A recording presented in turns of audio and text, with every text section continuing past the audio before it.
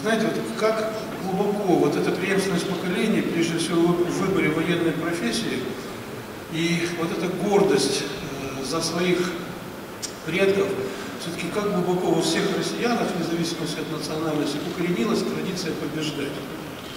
Вот эта традиция победы, она в крови, в крови русского народа.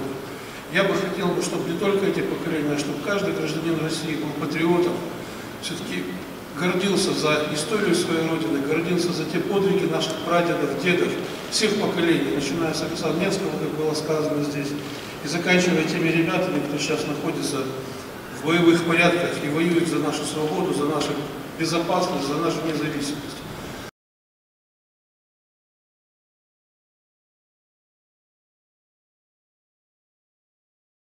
Ребенок проехал с отцом большое количество гарнизонов, как говорится, от Сахалина до Хабаровска.